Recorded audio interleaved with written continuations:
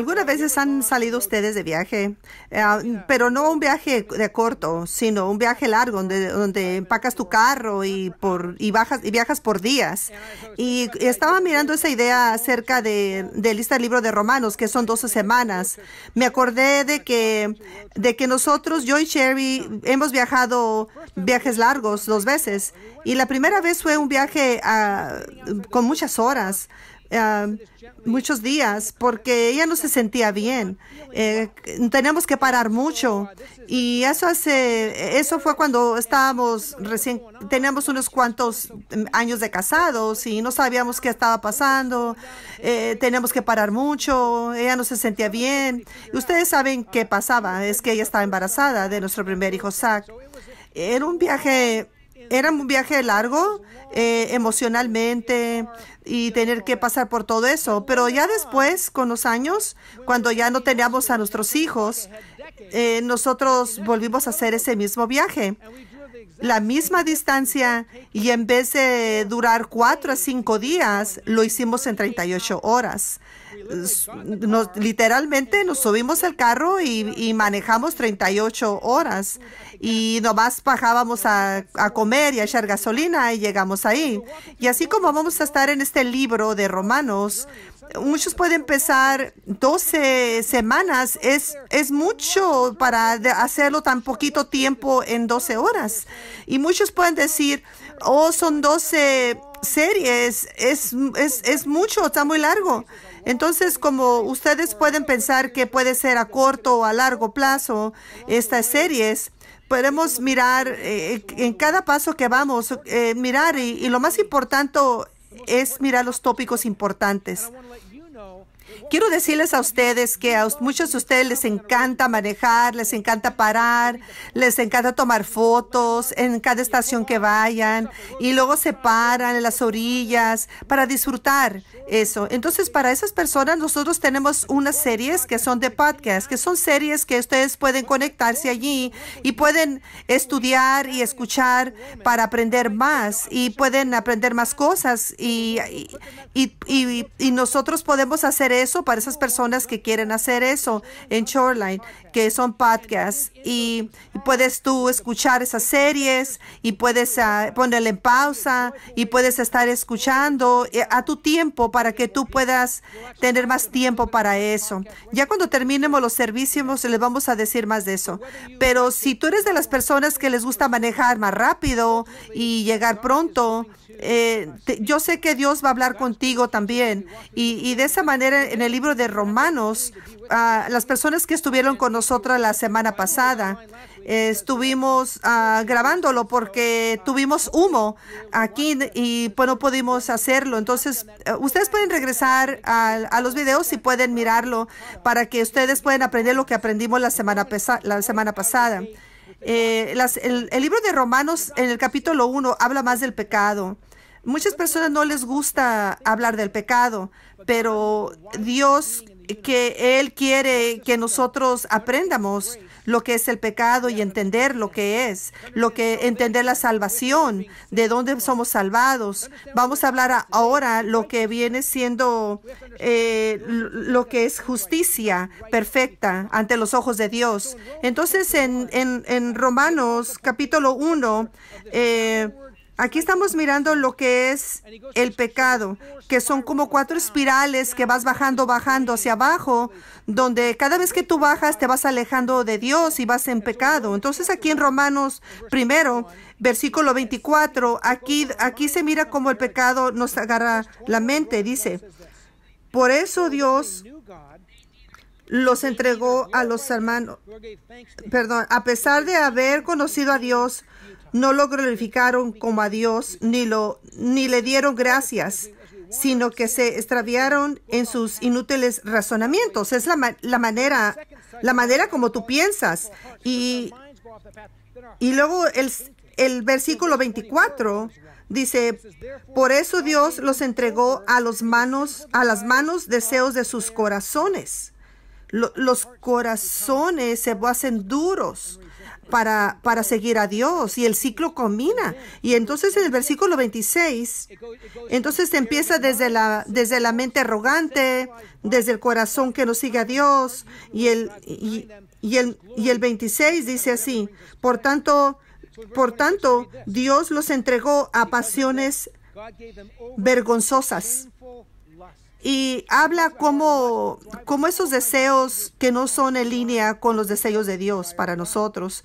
Y, en el cuatro ciclo de, que va hacia abajo, dice en el versículo 29, dice, se llenan se, se, han llenado de toda clase de maldad y de perversidad. Eh, la semana pasada hablamos de, de todos los pecados, de, de, de, muchas maneras que el pecado viene a la mente. A veces tú puedes eh, escuchar algo y puedes decir, oh, eso se aplica para mí. Eh, en el capítulo 1 no, no quiere que, el capítulo 1 no significa que, que, que un pecado es más grande que otro. significa que, que, que el pecado viene a tu mente y, reconocer que estamos mal y que, y, que, y que venga la salvación para ti. Y cómo Dios puede darnos justicia para que nosotros podamos aprender que, que la justicia y la, y la, y la, y la bondad es de Dios y no es de nosotros mismos. Que Dios es bondadoso y Él quiere que nosotros que nosotros nos, nos pertenezcamos a Él, pero no lo podemos recibir esa, ese perdón hasta que Él nos enseña a nosotros que lo necesitamos a Él. Señor, en el nombre de Jesús, Padre, te, te pedimos, Padre, de, de, de, lo que tú eres un Dios, un Dios justo, un Dios poderoso, un Dios de justicia, un Dios que, que eres puro, que, que que tú enseñes, Señor, que nosotros te necesitamos por tu gracia, Padre, que no tengamos excusas, Señor, para que nosotros creamos que tenemos la razón y, que aceptemos, Padre, que te necesitamos a ti y que recibamos, Padre, ah, la justicia tuya, Señor. Enséñanos, eh, eh, danos instrucción, Señor, en nuestras palabras, en nuestras maneras de pensar, en el nombre de Jesús. Amén. En el libro de Romanos es interesante porque empieza con los 11 capítulos y, y empieza diciendo lo que es ortodoxia, que es la creencia correcta. Y del capítulo 12 dice que es la que es la enseñanza de otro, otro paxis, que es la vida correcta, la vida correcta de vivir, como cómo hacerlo. Entonces, en estos 12 capítulos vamos a aprender y vamos a mirar la realidad, que sabemos que el pecado es verdad. Dios nos ayuda a mirar eso y cómo nosotros podemos ayudarnos a través de Él, porque Él, Él quiere y nos dace a nosotros una manera como una guía cómo tú puedes lograrlo. Entonces, en, en, Romanos capítulo 2, capítulo 2, 4, versículo 4, aquí miramos el corazón de nuestro Dios. Si tú te miras en el libro de, de Romanos, ahí vas a mirar cómo el corazón de Dios está allí y cómo, cómo Él quiere para nosotros. Mira, escucha esto. ¿No ves que desprecias las riquezas de la bondad de Dios? De su tolerancia y su paciencia al no reconocer que su bondad quiere llevarte al arrepentimiento. Mira esas palabras, su, su ser bondadoso, ser tolerante, su paciencia. Lo que nos llama a Dios no es porque Él nos va a juzgar. Lo que a mí, lo que a mí me llevó a, a, llegarme más a Dios no es, es fue, fue lo que no fue por el miedo, por el miedo de, lo que iba a pasar, sino, sino porque mirando que es un Dios que es bondadoso, tolerante, paciente, eso me llamó y me atrajo a Él. Y, la condición como yo estaba, eh, eh, ¿quién va a ser paciente conmigo? ¿Quién va a ser bondadoso? Eh, yo quería conocerlo a Él. Y yo quería saber que, que Él era muy bueno entonces eso, cuando tú sabes que, Él es así, eso te hace que tú lo sigas a Él. Y, y, porque Él es bondadoso, por eso nos hace que nos arrepientamos y lo sigamos a Él. porque cuando Él es muy bueno y una persona es muy buena así como es Él, eso te hace que tú voltees hacia Él. Entonces, por eso nosotros nosotros cuando no, cuando no somos viviendo una vida bien, nos volteamos hacia Él y, no, y, conocemos que es su corazón, que Él es bondadoso. Él es el más bondadoso de todo el universo. Sí, Él, él, es, él es un juez justo, pero Él es un buen Dios. Él, él, es un, él es un Dios que, que nos, les, Él quiere estar para nosotros y Él quiere estar, que nos, nos da la verdad. Si tú estás un poco compitiendo con Él, te voy a decir que no le vas a ganar, Él va a ganar. Él te va a dar tiempo para que tú mires quién es Él, porque Él quiere que tú vayas hacia Él. Esa es la bondad. Y su paciencia, Él te puede juzgar ahorita, pero como Él es paciente, Él se espera. La Biblia dice que Él no quiere que nadie se pierda, que, él, que vayan con Él. Entonces ese es el corazón de Dios, ese momento y que Dios quiere que tú estés con Él porque bajo la paciencia es el amor de Él. Y Él nos lleva al arrepentimiento para que tu corazón sea quebrado de tus pecados y que, y que tú lo reconozcas quién es Él y que Él vayas a tu arrepentimiento y corras a los brazos de Él, de Jesucristo. Uh, yo reconozco que hace 40 años atrás yo corrí a los brazos de Él y desde entonces ya no soy el mismo. Yo no sé qué será para ti, pero si tú ya no has llegado a eso, yo espero que ahora en este libro de Romanos que estemos leyendo, tú puedas aprender y puedas arrepentirte y puedas reconocer que Él es bondadoso y que, y que tú corras a los brazos de Él si es que no has tenido la fe y, de seguirlo a Él en estas series de Romano, porque yo sé que no vas a ser el mismo y pongas tu fe en Jesucristo. Entonces, ahora en, en Romanos 2, ahí nos dice que, que, que Dios es, es verdadero y que Él es verdad. Entonces, quiero que escuchen Romanos 2, del el versículo 2 y 5. El versículo 2 dice, ahora bien, sabemos que el juicio de Dios contra los que practican tales cosas se basan en la verdad. Dios es verdad. Dios no miente. La naturaleza de Él es verdad. Toda la verdad es de Él. Y el, y el, versículo 5 dice, pero por tu obstinación y por tu corazón empedernido, sigues acumulando castigo contra ti mismo para el día de la ira. Eh, y la ira, mira esto lo que dice la ira, cuando Dios revelará su justo juicio, cuando su justo juicio será revelado. Entonces su, su juicio va a ser revelado en la justicia y siempre va a ser la verdad. Entonces tú tienes que entender eso, pero muchos entendemos algo de eso. tú puedes pensar que hay momentos donde tú puedes pensar que, que, tú estás siendo justo y tienes momentos que piensas que no debes de juzgar. Hay personas que, que, que están en una guerra y hacen cosas hacen cosas que, muchas cosas que no son bien y hay muchos criminales que, que la persona piensa, mira, para los criminales ah, hay una, una justicia correcta. Y cuando tú escuchas a una persona que ha sido abusado de niños con el tiempo y que ha hecho muchas cosas por muchos años y abusado y con todo corazón puede pensar, eso está muy mal. Y la justicia para eso es una justicia correcta. Y, y porque eso está mal. Pero este es el dilema.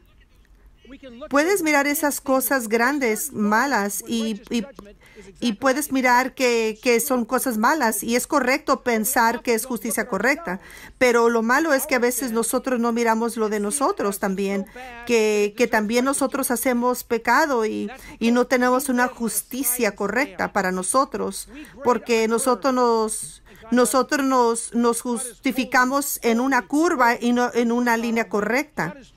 Dios siempre es justo, siempre, todo el tiempo. Y como Dios no puede mirar para otro lado cuando nosotros hacemos mal, ni puede cerrar los ojos. Él es perfecto, es una justicia perfecta. y él y él y él y él mira el pecado, tu pecado, mi pecado. Nuestros pecados son tan grandes que que Dios mandó a su, a su Hijo Jesucristo para que pagara el pecado de nosotros. Entonces nosotros somos pecadores y Él quiere que nos seamos, justos y quiere que nosotros nos demos cuenta de nuestros pecados. Y eso es lo que está pasando en, el, en, el, en, Romanos 2. Ustedes pueden regresar a mirar y leer Romanos número 2. Entonces tú puedes decir, oh, sí entiendo que, que aquí en Romanos está diciendo a las personas que, que, se creen que son justas, pero no lo son. Y aquí el, apóstol Pablo, él está, él está diciendo que la justicia de Dios es tan perfecta y la única manera es recibirlo a Él. Pero muchos piensan que no, porque ellos creen que ellos solos van a hacer justicia para ellos mismos. Pero aquí hay dos tipos de grupos. Una manera que tú crees que tú la vas a hacer si no tienes cuidado, puedes estar en peligro. Y mira, aquí está la pregunta. ¿Cómo tú, cómo tú vas a, cómo tú vas a atender la realidad y contra el pecado? ¿Sabes cómo? Eh, muchas personas, ¿cómo pueden manejar esto? Es que son críticos. Eso es lo que pasa en ese tiempo de romanos. En ese tiempo eran críticos. Ellos creían que, que, ellos podían ser perfectos cuando ellos criticaban a otros, porque se enfocaban en los pecados de otros y ellos pensaban que ellos, y así hacían pensar que lo, ellos estaban bien. Pero yo quiero decirte lo que decía eh, eh, Pablo aquí en el versículo 2, capítulo, capítulo 2, versículo 1, 3. Por tanto, no tienes excusa tú, quien siquiera que seas, cuando juzgas a los demás, pues al juzgar a otros te condenas a ti mismo, ya que practica las malas, las mismas cosas. Ahora bien, sabemos que el juicio de Dios contra los que practican tales cosas se basa a la verdad. Y miren el versículo 3. ¿Piensas entonces que vas a escapar del juicio de Dios? Tú que juzgas a otros y sin embargo haces lo mismo que ellos? ¿Te fijas cómo ellos ellos querían salirse con lo de ellos cuando juzgaban a otros? Entonces, si tú estás en una arena y tú dices, ah, eso no me gusta, de eso no me gusta de ellos, no me gusta de esto, entonces esa es una condenación que tú que, que estás pensando y sabes que esa condenación se te regresa a ti. En el tiempo de Pablo, cuando, cuando había personas que pensaban y, y, eran, y batallaban para para pensar que ellos no estaban correctos. Muchas personas pensaban que, que otros estaban malos y ellos no. Mira, yo me acuerdo de un, de un comediante que era una persona muy alta y que era una persona grande también de tamaño. Y él, él hacía un chiste y decía, miren, uh, ¿cómo, ¿cómo tú, cómo vas a hacer, cómo vas a decidir tus amistades? Y él decía, bueno, pues mira, yo siempre he tenido problemas con mi peso. Pero, pero yo siempre hago, ah, yo siempre hago amigos nuevos, porque saben que es más fácil hacer amigos nuevos que perder peso. Porque, ¿saben por qué? Porque yo siempre buscaba amigos que eran más grandes que yo, porque así me decían, oh, tú te miras muy bien, porque pues eran más grandes que yo. Entonces, así eran aquellos tiempos de romanos. Eran de decir, ellos decían, pues ellos están mejor, peor que yo entonces yo estoy bien. Entonces es, eso puede ser mal para ahorita en estos tiempos. Miren, la táctica número uno es, es mal, porque tú puedes pensar, tácticas, eh, la persona táctica, ¿estoy ignorando mi pecado al enfocarme en tu pecado? Y eso es malo porque tú nunca te fijas en ti, porque tú juzgas a otra persona y tú no te juzgas a ti mismo ante los ojos de Dios. Es como un niño cómo se porta un niño. Mira el niño como dice, mira lo que hizo ella, mira lo que hizo él. Entonces, cuando mis hijos estaban chiquitos, me decían, oh, mi, mi amigo hizo esto, mi, mi amigo hizo esto. Y sabes, como todos los papás que decimos, a mí no, no me interesa a los otros niños, me interesas tú, como mi hijo. Entonces, eso es la tentación a nosotros también igual. Y como cristianos, lo hacemos con otras personas que no, no son creyentes. Podemos pensar, eh, yo soy mejor que aquella persona porque aquella persona mira lo que está haciendo, pero esa persona no conoce a Jesús. Y podemos nosotros tener esa mentalidad de juzgar a otros. Y también puedes pensar tú ah, que, que tu pecado es más chiquito que el pecado de otra persona. Y y nosotros podemos pensar que Dios no piensa en nuestros pecados porque está mirando el pecado de otras personas cuando nosotros decimos eso.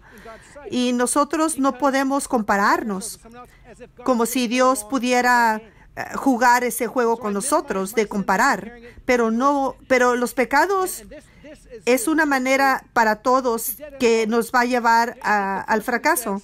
Entonces nosotros no podemos pensar nosotros no podemos pensar en una manera así. Por ejemplo, yo, yo estoy casado, me salí con otra persona que no mi pareja y me fui a tomar, pero, pero yo no, y quizás, quizás a lo mejor me envolví con esta otra persona que no es mi pareja, pero, pero mira aquella otra, aquella persona sí es horrible, aquella persona sí está siendo peor que yo. Yo nomás hice poquito. Y comparado con esas personas, yo soy un santo. Y tu mente puede pensar que tú eres un santo. Y Dios mira nuestros pecados. Dios no nos compara con nadie más. Nos compara con Jesús, que es perfección. Por eso mandó a Jesús para que Él nos ayude en nuestros pecados. Y tú puedes pensar, yo no soy tan malo. Y yo a lo mejor puedo quizás eh, no poner horas que no trabajé, a lo mejor me puse un poquito más de dinero que no debería, pero mira aquel, aquel agarró mil dólares y, comparado con aquel, oh no, yo soy un santo. Y, nosotros estamos, nosotros estamos eh, hechos para, para creer y, y creer que estamos mal. Y cuando mira aquella persona eh, se enoja, mira, grita y quiebra cosas. Y mira yo, yo me enojo, pero yo no digo nada, me quedo callado. Pero duro días y duro horas y días sin hablar. Ustedes entienden, ¿verdad? Lo que estoy diciendo. Compararte con ella, ah, soy una santa. Comparado con él, soy una santa. Pero Dios es verdadero. Él mira todo. Él es justicia.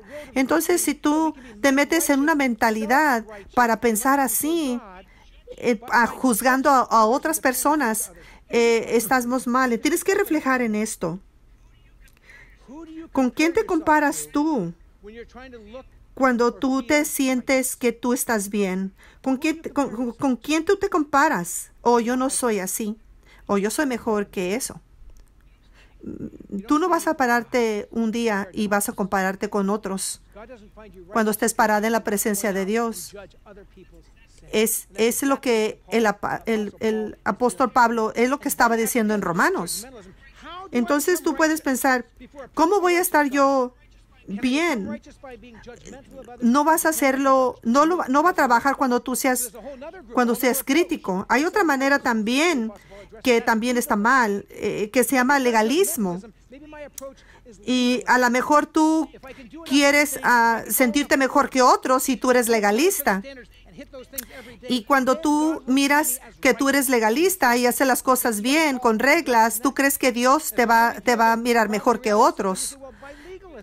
Cuando tú sigues las reglas y las regulaciones, eh, dice aquí el apóstol, el apóstol Pablo, que, que, las personas que viven en legalismo, esas personas hacen sus reglas y ellos, ellos, ellos creen que están haciendo cosas suficientemente buenas para que Dios no los juzgue. Y aquí el, apóstol Pablo también, él dice eso, porque muchas, muchas personas quieren seguir las leyes de, y, quieren que no, no ser juzgados. Entonces él les está diciendo aquí en Romanos, a, a, todos los a todos los que son de la ley porque ellos porque ellos creen que son muy buenos porque ellos son legalistas también. ellos están haciendo todas las cosas bien ante los ojos de Dios y juzgan a otros. Y, y Pablo le dice ¿tú crees que tú estás bien?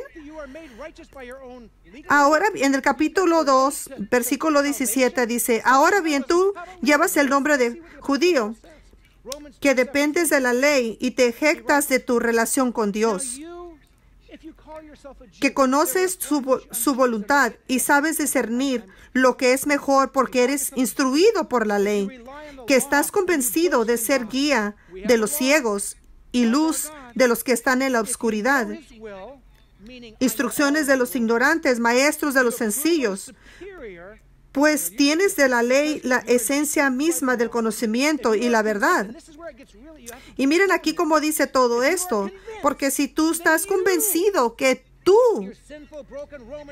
que tú estás convencido de que tú eres un que tú eres un, una guía de los ciegos y, y que tú eres un instructor de los ignorantes maestros de los niños, de los sencillos. Miren cómo está aquí, cómo lo está diciendo Pablo. Si tú no te enseñas a ti mismo, quiero, ¿cómo vas a enseñar a los demás? Ustedes quieren, ustedes miren cómo él lo está diciendo aquí.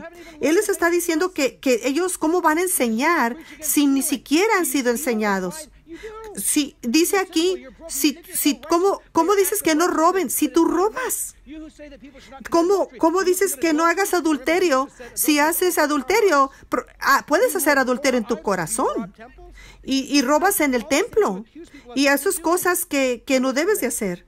Miren, escuchen esto. Tú que, que estás en la ley y, y tú que, y tú que crees que eres perfecto ante mis ojos, que tú crees que estás haciendo todo bien, estás quebrando la verdad. Y como dice aquí, como está escrito, ofreces a los ídolos y robas a los templos, tú que jactas la ley, deshonras a Dios quebrantando la ley. Así está escrito, por causa de ustedes se blasfema el nombre de Dios entre los gentiles. Porque hay gente que hay gente que dice que que cree que está siguiendo las reglas y creen que porque no hacen cosas que no son correctas, que creen que hacen todo bien, eso quiebra el corazón de Dios, porque eso, eso no lo lleva a Jesús. Criticas a criticar a las personas y ser legalista siguiendo reglas no lo lleva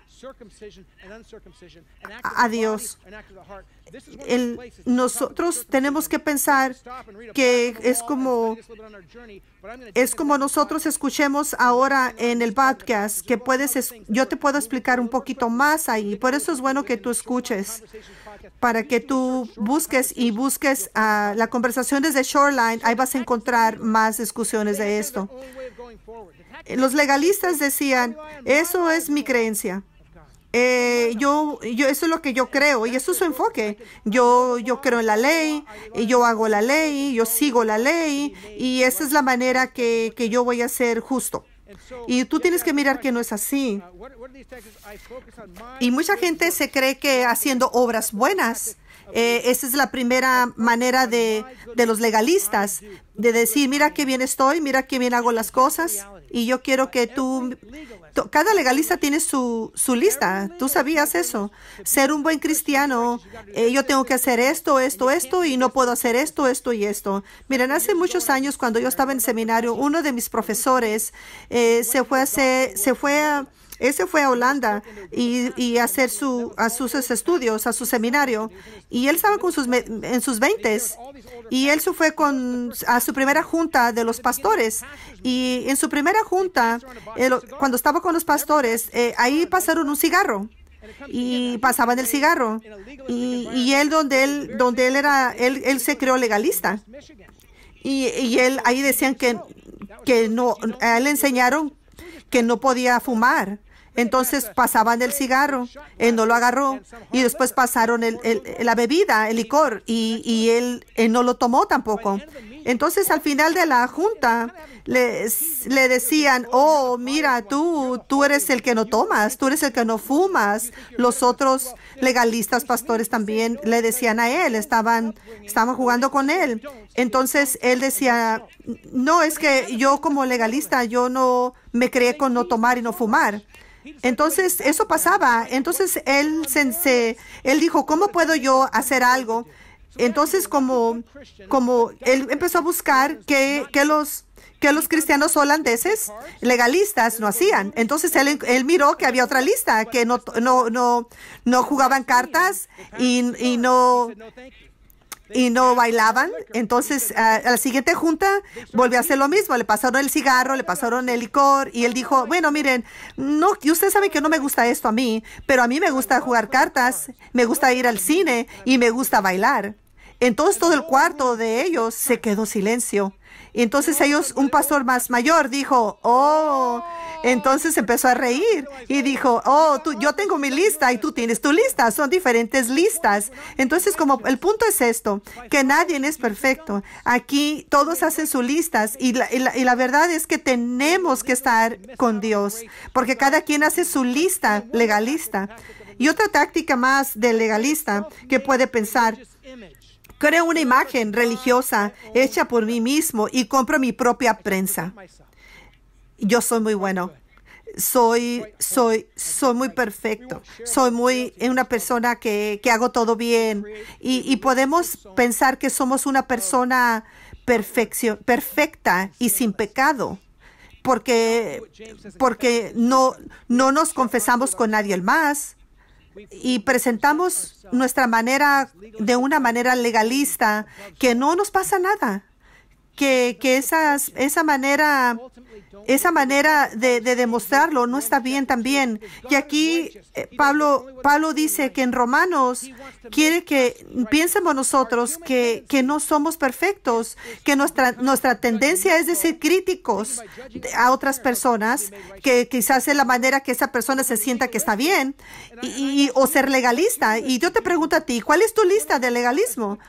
Eh, eh, ¿qué, es ¿Qué es lo que tú haces? Que dices, eso no lo hago, esto sí lo hago, pero pero eso no es la manera de hacerte, de estar bien con Jesús, porque no es, no es de una lista. Entonces el, el Pablo apóstol dice que él es él, la verdad es nuestro Dios quiere que seamos justos. Y la, única manera, la única manera de ser justo es a través de Jesucristo. Y eso va a ser la semana que viene, que va a ser el capítulo 3. Y queremos nosotros tenemos que sentarnos y, pensar cómo somos críticos y cómo somos legalistas. Y aquí, aquí por eso eh, eh, Pablo les dice, no tienes que ser crítico y no tienes que ser legalista. Yo quiero que, que seamos, que estemos con Dios, que Él nos mire a nosotros, nuestros, nuestros pecados. Señor, aquí estamos en esta oración que tú nos enseñes dónde nosotros nos hemos nos hemos mirado que no somos que somos críticos de otras personas y que creemos que juzgando a otras personas nosotros somos mejores y que quizás pensamos en el legalismo porque pensamos que, que si hacemos cosas cosas buenas o cosas que pensamos bien, eh, vamos a atender el cielo en vez de mirar a Jesús. Quiero que en esta semana, Señor, por favor, tú nos, nos lleves a Romanos capítulo 1, en la realidad de nuestros pecados, en nuestro corazón, en el capítulo 2, donde, donde, está, donde está este, este corazón, Señor, que tú nos, nos dejes de saber cómo, cómo estamos mal, Señor. Y que en el capítulo 3 nos dé la justicia, Señor, de, de cómo Tú, nos puedes transformar, cambia nuestra manera de pensar y, y que tú nos hagas como tú quieres que tú seas, Padre, en el nombre de Jesús. Amén. Amén. Antes de que se vayan ustedes con la bendición, quiero decirles que, que la importancia de diferente manera para muchas personas en la oración, quiero que llames a este número ahora que hay personas que están esperándote y ellos están encantados para poder orar por ti, para ayudarte en tus necesidades. Ora con ellos. Y también, si tú eres nuevo Y hay muchas personas que son nuevas, que nos están mirando en línea. Uh, textea la llamada bienvenida, welcome, y nosotros vamos a responderte a ti y te vamos a dar una bienvenida. Y también te quiero que eh, te metas tú al podcast, que son las series y, que les voy a dar un pequeña información de, de, lo que significa esto para las personas que quieren aprender un poquito más de lo que estamos leyendo, escuchándolo y aprendiendo para que podamos aprender más en el libro de Romanos. Y si tú quieres saber un poquito más en este correo electrónico, mándanos. Si tú quieres saber más información, si tienes preguntas, cuándo empezamos aquí, cuándo hacemos esto, nosotros te vamos a responder lo más pronto posible. Y también para las personas que nos que nos, que nos dan. Estamos muy agradecidos y, estamos haciendo los servicios en el campo. Estamos, estamos en, en, pensando cómo vamos a hacer esto en el campo. Y aquí hay cuatro maneras también en el campo que puedes dar. Ah, puedes dar por texto. Hay diferentes maneras, cuatro maneras de poder dar tu regalo. Y ahora como vamos a cerrar, quiero darte la bendición. Que Dios que Él es justo y verdadero,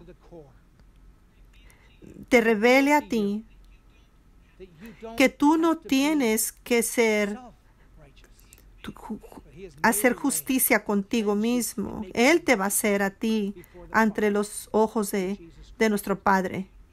Que tú aprendas y que tú conozcas esta verdad que necesitamos a nuestro Padre. Bendiciones para ti, Dios te bendiga y nos miramos la próxima semana del libro de Romanos.